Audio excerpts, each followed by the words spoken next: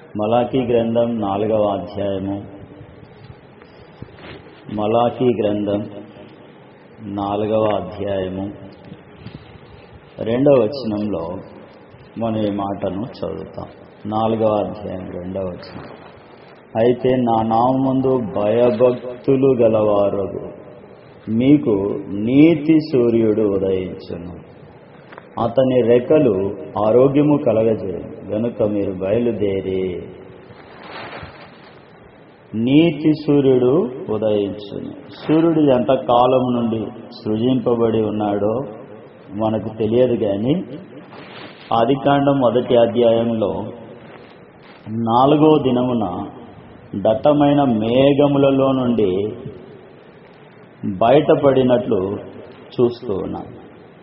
అలాగే కొలసీలకు రాసిన పత్రిక ఒకటవ అధ్యాయము పదిహేడవ వచనంలో అన్నింటికంటే ముందు ఉన్నవాడు ఆయనను మానవునిగా సృష్టించినాడు అని మనం చదువుతాం. కొలసీలకు రాసిన పత్రిక ఒకటవ అధ్యాయము పదిహేడవ వచనం. ఆయన అన్నింటికంటే ముందుగా ఉన్నవాడు ఆయనే సమస్తమునకు ఆధారభూతుడు. ఆయన సృష్టించినది మొదలుకొని ఇంచుమించు నాలుగు వేల సంవత్సరములకు ఆయన మానవునిగా అవతరించినాడు. పేతురు రాసిన రెండవ పత్రిక మూడవ అధ్యాయము ఆరో వచనంలో ఆ నీళ్ళ వలన అప్పుడున్న లోకము నీటి వరదలో మునిగి నశించెను. అయితే ఇప్పుడున్న ఆకాశమును భూమియు భక్తిహీనుల తీర్పును నాశనమును జరుగు దినము వరకు అగ్ని కొరకు నిలువ చేయబడినదే. అదే వాక్యం వలన భద్రము చేయబడి ఉన్నవే.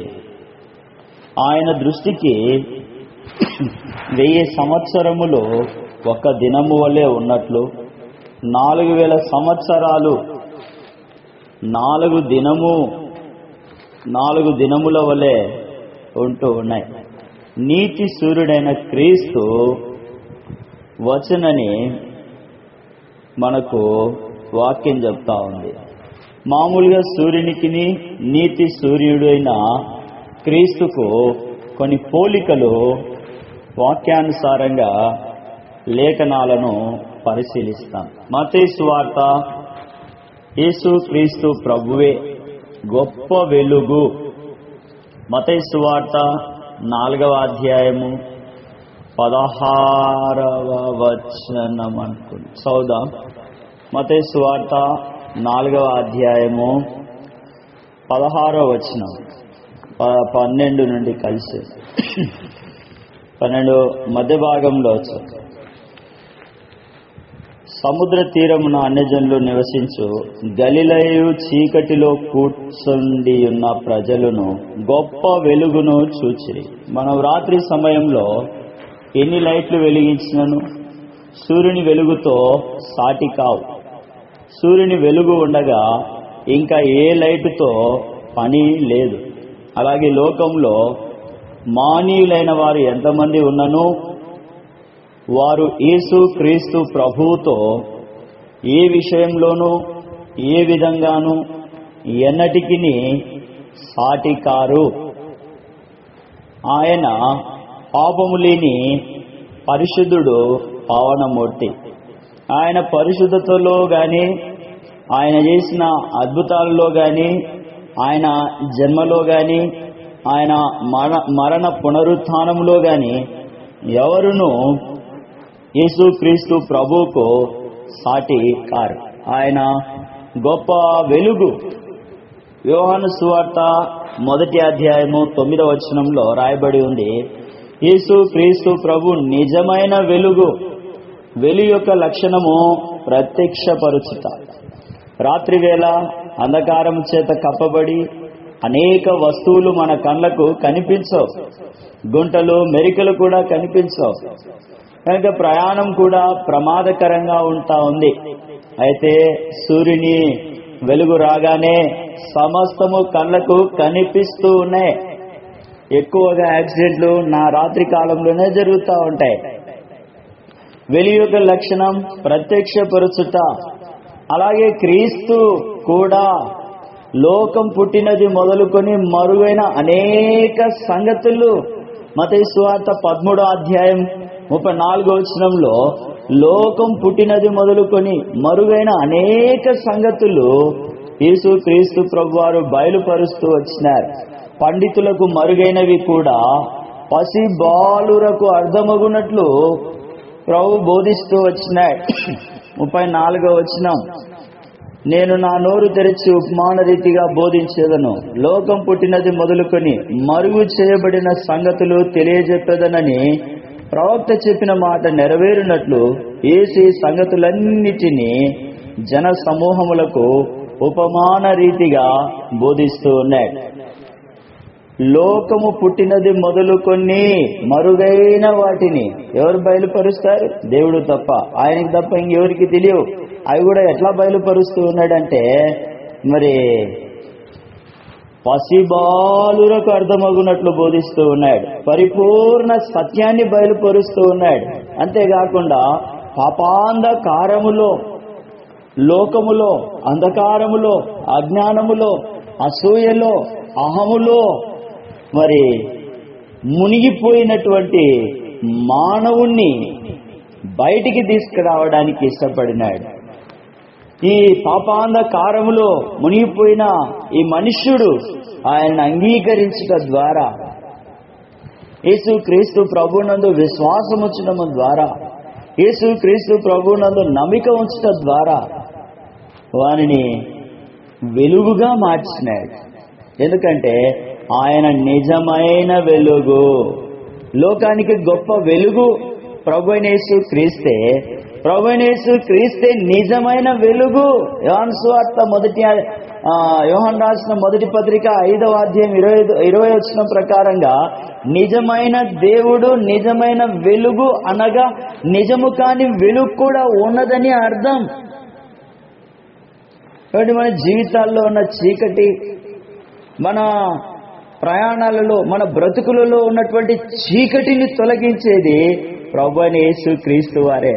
ఈ చీకటి ఈ అంధకారము ఈ గాఢాంధకారము మనల్ని ఆవరించినప్పుడు మనము జీవించాలనే ఆలోచనను విడిచిపెడతాం. ఈ జీవమును చంపివేయడానికి అంటే ఆత్మహత్య చేసుకోవాలనే ఆలోచనలోనికి వస్తాం. చీకటిలో సాతాను సాతాని యొక్క మరి అధికారులు ఉంటూ ఉన్నారు. వాని పని ఎప్పుడంటే కలవరాన్ని భయమును భీతిని కలగజేయడమే. ఎవరేం చేస్తున్నారో? వారు రాలేదే వారు చూడలేదే వారు మాట్లాడలేదే అంటే నా గురించి చెడుగా అనే భ్రమ. ఈ లోపల ఒక రకమైనటువంటి శరీరము భయానికి రుగ్మతకు కలవరానికి లోనైపో తాను అనుకున్నటువంటిది జరగనప్పుడు ఎవరో ఏదో చేస్తూ ఉన్నారు. ఇదంతా కూడా చీకటి కార్యము. ఈ చీకటి నుండి ఈ బలహీనత నుండి ఈ బంధకము నుండి విడిపించే యేసు క్రీస్తు ప్రభు దగ్గరికి ప్రేమతో పిలువబడుతూ ఉన్నాం. నిజమైన వెలుగులోనికి భ్రమపరిచే కలవరపరిచే ఆ వెలుగులో నుండి నిజమైన వెలుగులోనికి రావాలని దేవుడు కోరుతా ఉన్నాడు. కాబట్టి వెలుగుదూత వేషం వేసుకున్నటువంటి సాతాను ఈ సాతాను కలిగించినటువంటి అంధత్వమును బట్టి అనేక మంది నిజమునకు దేవుళ్ళు కాని వారిని వెంబడిస్తూ ఉన్నారు. ఓ రాసిన రెండవ పత్రిక నాలుగవ అధ్యాయం. ఈ యుగ సంబంధమైన దేవత వారి కనులకు కలిగించినటువంటి గ్రుడ్డితనమును బట్టి నిజమైన దేవుణ్ణి నిజమైన వెలుగును నిజమైనటువంటి ప్రభువును చూచి ఆయన ఒప్పుకొని ఆయన ఎందు విశ్వాసం ఉంచడానికి మరి ఇబ్బంది పడతా ఉన్నారు. కారణం ఈ లోక సంబంధమైనటువంటి దేవత వారి మనోనేత్రాలకు కలిగించిన దృఢితనము దేవుని స్వరూపి అయ్యున్న క్రీస్తు మహిమను కనబరుచు సువార్త ప్రకాశము వారికి ప్రకాశింపకుండు నిమిత్తము. ఈ యుగ సంబంధమైన దేవత అవిశ్వాసులైన వారి మనోనేత్రాలకు గ్రుడ్డితనము కలగజేసెను. అంధకారములో నుండి వెలుగు ప్రకాశించునుగాక అని పలికిన దేవుడే తన మహిమను గూర్చిన జ్ఞానము యేసు క్రీస్తు నందు వెలువడి పరుచుటకు మా హృదయములలో ప్రకాశించను గనక మేము మమ్మును గూర్చి ప్రకటించుకొనుట లేదు గాని క్రీస్తు యేసును గూర్చి ఆయన ప్రభు అనియు మమ్మను గూర్చి యేసు నిమిత్తము మేము మీ పరిచారకులమని ప్రకటించుచున్నాము. ఎవరైతే ఈ సాతాన్ యొక్క చేతిలో చిక్కి సతమతమైపోయి మరి ఎందుకు జీవితము మరి చస్తే బాగుంటుందనుకుంటూ ఉన్నారో అలాంటి వారు ఒక శుభ వచనం ఓ శుభ సందేశం ఏంటి అంటే నీవు చనిపోనవసరం లేదు. నీవు సాతాను చేతిలో బందీ వై ఉండవలసిన అవసరము లేదు. నీవు ఈ లోక సంబంధమైనటువంటి మృగవాంఛల చేత నిన్ను నీవు చంపుకోన అవసరం లేదు. నిన్ను విడిపించే దేవుని మహిమ యొక్క తత్వం యేసు క్రీస్తు ప్రభు ఈ భూమి మీద నీ కొరకు జన్మించినాడు. మనందరినీ ఆ యొక్క లోకము నుండి సాతాను నుండి సాతాన అధికారము నుండి విడిపించడానికి ప్రేమతో పిలుస్తూ ఉన్నాడు. మేము ఆ సువార్తను నమ్మినాం. ఆ సువార్త ద్వారా కలిగిన ఆ ప్రకాశతలోనికి వచ్చినాం. మేము యేసు క్రీస్తు ప్రభు యొక్క జీవములో దాచబడి ఉన్నాం. మేము పొందుతూ ఉన్నా మేము అనుభవిస్తూ ఉన్నా ఈ ఆనందాన్ని ఈ సంతోషాన్ని మీరు కూడా ఆస్వాదించాలని ఆనందించాలని ప్రేమతో యేసుక్రీస్తు ప్రభువు దగ్గరికి రమ్మని ఆయనను హృదయంలో చేర్చుకోమని మిమ్మల్ని ఆహ్వానిస్తూ ఉన్నాం. ఇంకొంచెం ముందుకెళ్దాం. గలతీలకు రాసిన పత్రిక నాలుగవ అధ్యాయం. గలతీలకు రాసిన పత్రిక నాలుగవ అధ్యాయము. ఎనిమిదవ వచనం చదువుకుందాం. ఆ కాలమందైతే మీరు దేవుణ్ణి ఎరగని వారై నిజమునకు దేవుళ్ళు కాని వారికి దాసులై ఉంటిరి గాని ఇప్పుడు మీరు దేవునిని ఎరిగిన వారును మరి విశేషముగా దేవుని చేత ఎరగబడిన వారునై ఉన్నారు గనుక బలహీనమైనవియు నిష్ప్రయోజనమునైనయునై నైనా మూల పాఠముల తట్టు మరలా తిరగనేలా. మునపటి వలె మరలా వాటికి దాసులై ఉండగోరనేలా. మీ దినములను మాసములను ఉత్సవ కాలములను సంవత్సరములను ఆచరించుచున్నారు. మీ విషయమై నేడిన పడిన కష్టము వ్యర్థమై పోవునేమో అని మిమ్మను గూర్చి భయపడుతున్నాను. అంధకారములో కొట్టుకొని పోతూ ఉన్నారు. అటు వారిని మరి ప్రభు దగ్గరికి మరి ఆయన వారిని నిజముగా వెలిగించడానికి ఇష్టపడుతున్నాడు శాశ్వత ఆనందమును దయచేవానిగా ఎబిసీలకు రాసిన పత్రిక ఐదో అధ్యాయ ఎనిమిదో వచ్చినంలో చదువుతాను. శాశ్వత ఆనందం నిత్య ఆనందం ప్రభు మనకు ఇస్తాడు. ఒకప్పుడు మీరు లోకములో ఉన్నారు సాతానికి దాసులై ఉన్నారు నిష్ప్రయోజనమైన వాటిని వెంబడించినారు బలహీనమైన వాటిని వెంబడించినారు. అలాంటి మూల పాఠముల నుండి దేవుడు యేసు క్రీస్తు ప్రభు మిమ్మల్ని విడిపిస్తే మరలా మీరు వాటికే వెళ్ళిపోతూ ఉన్నారు. మరలా మీరు ఆ దాస్యమనే కాడి క్రిందికే మరలా బంధకములోనికే మరలా మీరు ఆ అంధకారములోనికే వెళ్ళిపోతూ ఉన్నారు. నేడే ప్రభువు మనలను వెలిగించడానికి నేడే మనలను ప్రభువు సంతోష శాశ్వత ఆనందంలోనికి తీసుకురావడానికి ఇష్టపడుతూ ఉన్నాడు. గొప్ప వెలుగైన యేసు క్రీస్తు ప్రభువును హృదయములో చేర్చుకో. నిత్య వెలుగైన నిజమైన వెలుగైన యేసు క్రీస్తు ప్రభువును హృదయములో చేర్చుకో. అప్పుడు శాశ్వత ఆనందం నిత్య ఆనందం సంతోషం చెప్పన సత్యమును మహిమాయుక్తమైన సంతోషంలోనికి వస్తావు. ఆ దాస్యము నుండి విడిపించబడతావు. ఆ బంధకము నుండి విడిపింపబడతావని దేవుని వాక్యం చెప్తా ఉంది. యోహాను సువార్త ఎనిమిదవ అధ్యాయము పన్నెండవ వచనం. యోహాను సువార్త ఎనిమిదవ అధ్యాయము పన్నెండవ వచ్చిన సూర్యునిలో ప్రకాశత వేడిమి మరి జీవము ఉన్నాయి కనుక భూమి సారవంతమై మరి వర్షాన్ని పొందుకుంటా ఉంది. అనేది మనం చూస్తాం. ఎనిమిదో అధ్యాయం పన్నెండవ వచ్చిన మరలా యేసు నేను లోకమునకు వెలుగును నన్ను వెంబడించి వాడు చీకటిలో నడవక జీవపు వెలుగు కలిగి ఉండునని వారితో చెప్పెన్నో. సూర్యుని ప్రకాశత వేడిమి జీవము ఉన్నాయి. భూమి సారవంతమైనదైనను వర్షము సమృద్ధిగా కురిసినను సూర్యరశ్మి లేనిదే. చెట్లు ఫలించవు జీవరాశులు చెలించలేవు. సర్వ ప్రపంచము నిర్జీవంగా ఉండిపోతుంది. సూర్యుని కిరణాలు పడుట ద్వారా సమస్త వృక్షములు పైరులు ఎదిగి ఫలించుచూ ఉన్నాయి. జీవకోటి చెలించుచూ ఉంది. అలాగే సమస్త మానవ కోటికి మరి వాక్యం చెప్తా ఉంది. ఏమనంటే రాసిన ఇక్కడ ఎఫ్ఎస్సీలకు రాసిన పత్రిక రెండవ అధ్యాయము మొదటి వచనంలో మన గురించి చెప్పబడుతా ఉంది. మీరు అపరాధము చేతను పాపము చేతను మీరు చచ్చిన వారై ఉండగా ఆయన మిమ్మల్ని క్రీస్తుతో కూడా బ్రతికించెను. జీవరాశులకి భూమి మీద ఉన్న జీవరాశులకు సూర్యుడు ఏ విధంగా అవసరమో మనకు అపరాధము చేత అసూయ చేత ఆ అహము చేత అజ్ఞానము చేత చీకటిలో మరి నిందలో నిస్సహాయతలో చచ్చిపోయినాం పడిపోయి ఉన్నాం పడేస్తూ ఉన్నాం. నిలుచున్నామన్న మాటే గాని పడిపోయిన స్థితి గ్రహించలేని స్థితి. కారణం యుగ సంబంధమైన దేవత మనోద్ నేత్రాలకు కలిగించిన గురుడితనం.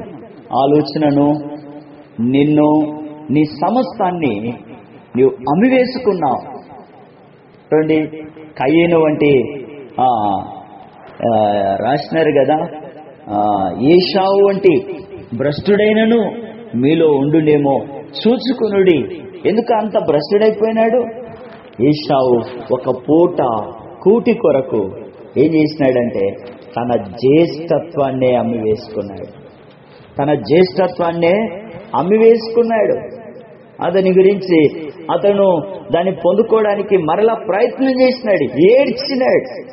అయినా అతనికి అది అబ్బలేదు. అబ్బలేదు. ఇంకా అది అతనికి దుర్లభమైపోయింది అసాధ్యమైపోయింది.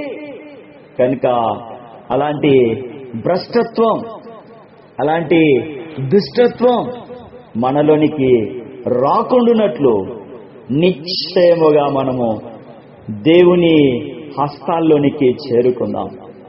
మనం ఎవరి చేత ప్రేరే దేని చేత ప్రేరేపించబడి పడిపోతేమో మనల్ని బట్టి ఎవరు నిస్సహాయులై సాతాని యొక్క నోటిని పొందుకొని మరి పడిపోయినారో అలాంటి వారిని కూడా మనము ఉదరించుట కొరకు అలాంటి వారిని కూడా తిరిగి దేవుని వైపు నడిపించుట కొరకు దేవునికి మహిమ కలుగునట్టి జీవితం జీవించడానికి మనము ప్రయత్నం చేయాలి.